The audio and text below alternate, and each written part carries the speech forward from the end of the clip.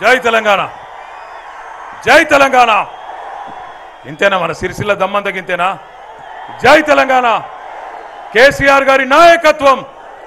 కేసీఆర్ గారి నాయకత్వం. కారు గుర్తుకే. కారు గుర్తుకే. జై తెలంగాణ. అందరికీ నమస్కారం.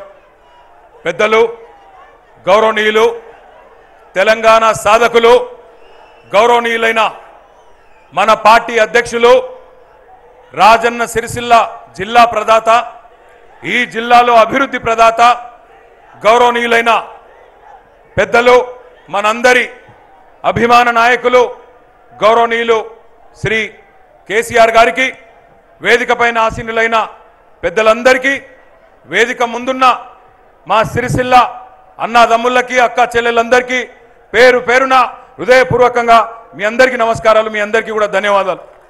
సమయం ఎక్కువ లేదు. ముఖ్యమంత్రి గారికి మళ్ళీ సిద్దిపేట దాకా పోయేది ఉన్నది. వారికి నేను చెప్పేది కూడా పెద్దగా ఏం లేదు. కేవలం రెండు మూడు విషయాలే. కలలో కూడా ఊహించని సంక్షేమం కలలో కూడా కల్పన కూడా చేయలేనంత అభివృద్ధి ఈరోజు రాష్ట్ర వ్యాప్తంగా జరుగుతోంది. అందులో రాజన్న సిరిసిల్ల జిల్లాలో కూడా బ్రహ్మాండమైన సంక్షేమం బ్రహ్మాండమైన అభివృద్ధి ఇవాళ మన కళ్ళ ముంగటనే కనబడుతున్నది.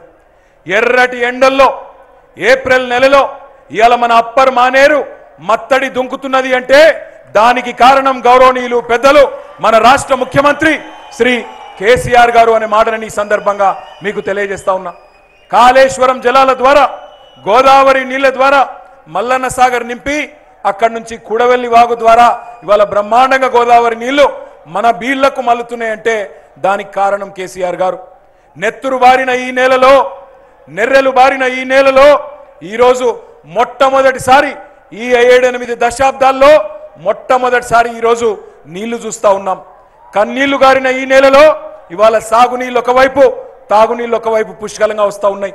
అదేవిధంగా మా నేతన్నల ఆత్మహత్యలతో ఒకనాడు సిరిశాలగా పేరుపడ్డ సిరిసిల్ల ఆనాటి ఉమ్మడి పాలనలో ఉమ్మడి ఆంధ్రప్రదేశ్లో ఉరిశాలగా మారింది. కానీ ఎప్పుడైతే కేసీఆర్ గారు ముఖ్యమంత్రి అయినారో ఆనాడే సిరిసిల్ల నేతన్నల జీవితాలు మారినాయి. ఇక్కడ బతుకులు మారినాయి అనే మాట కూడా ఈ సందర్భంగా విజ్ఞప్తి చేస్తా ఉన్నా. ఇది నేతల ప్రభుత్వం చేతల ప్రభుత్వం చేనేతల ప్రభుత్వం కేసీఆర్ గారి ప్రభుత్వం అనే మాట ఈ సందర్భంగా మీ అందరికీ నేను విజ్ఞప్తి చేస్తా ఉన్నా. సిరిసిల్ల ఇయ్యాల కలలో ఊహించని విధంగా జిల్లా అయ్యింది. ఎక్కడో కరీంనగర్లో ఉండే కలెక్టర్ను ఎక్కడో కరీంనగర్లో ఉండే జిల్లా అధికారులను కలవడానికి డెబ్బై ఎనభై తొంభై కిలోమీటర్లు పోయే బాధ తప్పింది మన సిరిసిల్లలోనే ఈరోజు కలెక్టర్ గారు.